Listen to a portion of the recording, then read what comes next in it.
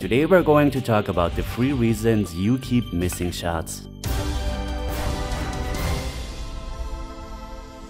Alright, three more reasons why you keep missing shots in pool and this video is a bit more advanced than the previous one but if you haven't watched the previous video then make sure to check the link in the video description and in the top right of your screen.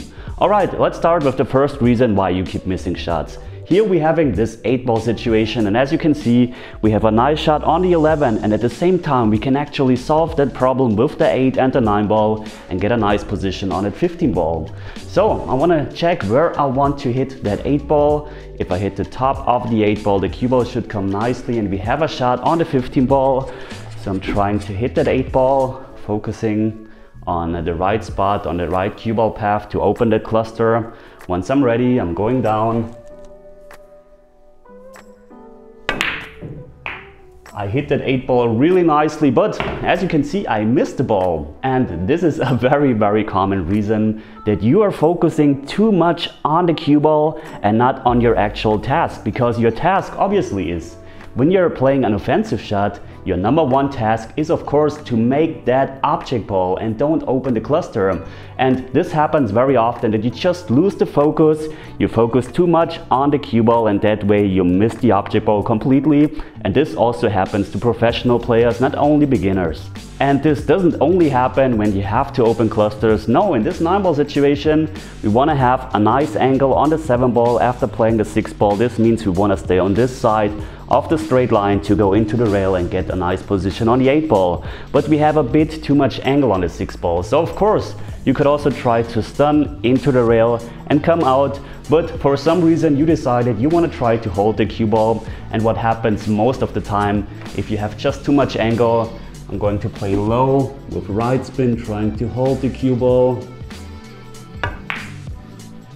and you can see I missed too thick because I didn't want it to hit any thinner because that way the cue ball drifts more over and this is also a very common reason. So keep in mind when you're playing shots your main focus is of course to make the object ball and cue ball is only the second test because you don't want to lose control by missing a shot.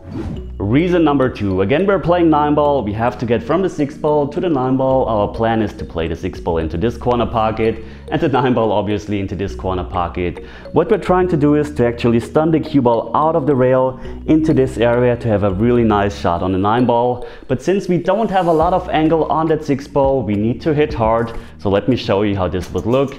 It's just a center ball by the way and a pretty, pretty hard hit. And you can see this didn't turn out too good. Uh, too good.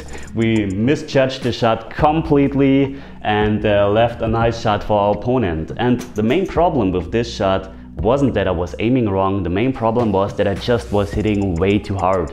And whenever you have to hit or whenever you're hitting balls that hard, you really lowered your chances to actually make that ball. First of all, there will be a lot more inaccuracy in your stroke. The harder you hit, the more difficult it becomes to actually hit the right spot on the cue ball, to keep your arm in a straight line and so on. And the second reason is the pocket becomes a lot smaller because there is something called pocket speed. And this just means if you, for example, trying to um, shoot the six ball into this pocket, you hit the rail here and you hit really hard, then the six ball will get into here and rattle out of the pocket. But if you're hitting really soft, um, the outcoming angle won't be that shallow, but a bit more flat and you have a much higher chance to actually make that six ball. So when it's not required, try to hit at pocket speed. This means try to hit soft and uh, that way you will get more accurate and the pocket becomes actually bigger.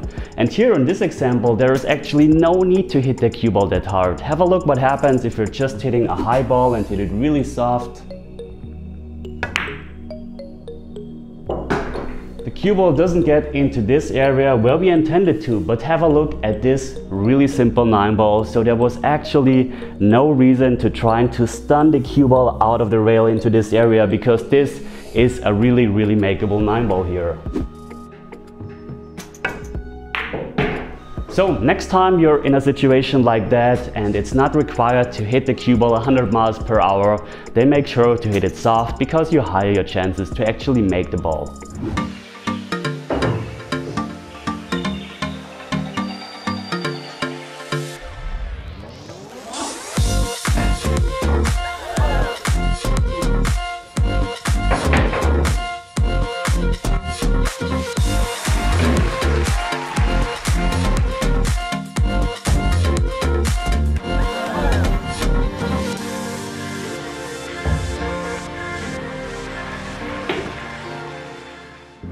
Alright, reason number three, and again we're in this 9 ball situation. We have two options here. We could either go for the offensive option, which means cutting the 8 ball into here, just bring the cue ball a couple of rails in the best case into this position or into that position. Or the other option is just play a safety. This means sending the 8 ball to the short rail, bringing the cue ball maybe towards here and have the 9 ball as a blocker. Now imagine you're in a match, maybe you're playing with shot clock or maybe you took already a couple of minutes and you have to make a decision, but you're not really sure what to do. So let's say we decide to go for the offensive option. So you're going down and you still have in your mind, is this the right shot? Should I really play that shot? But you still pull the trigger, go for the eight ball and you you should miss it. Uh, I was trying to miss that ball, uh, but you get what I mean. So if you're not 100% convinced of what you are actually doing. And by the way, this was the perfect example for pocket speed. I hit the rail way too early, but because of that soft speed, we were able to make that shot. But what I was trying to tell you is, if you're not 100% convinced of what you're doing and that this is the right shot, then you're very likely to miss it, uh, especially if you're down and still thinking about, well, I should have played the safety. Now we finally missed it completely.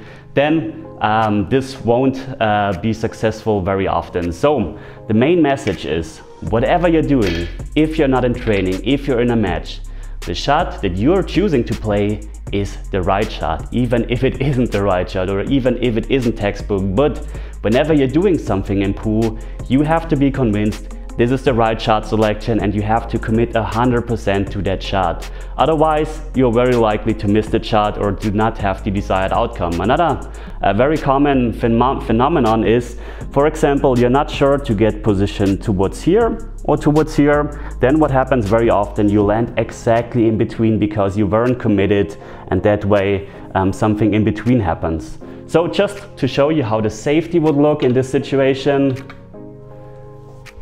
I'm going to play it real quick. I'm just trying to craze the 8 ball fin or a half ball hit. Bring it to the short rail and we have the 9 ball as a possible blocker. In the best case, or if you want to make sure to not leave a shot because this was a bit risky, make sure to bring the 8 ball towards here. Then it doesn't matter if the cue ball leaks out behind the 9, you will never leave a makeable shot. The main message is commit to the shot that you're playing in a match. Whatever shot you're playing is the right shot. In training it's something else, but in a match be committed and 100% convinced of what you're doing. Okay guys, I hope um, this was helpful for you. If you like this video, then leave a thumbs up, comment, uh, subscribe to my channel. Very important if you haven't watched the first episode of this um, series or this uh, type of video, make sure to check the link in the top right of your screen and in the video description. And that's it for today. So thanks for watching guys. And as always, see you at the next lesson. Take care.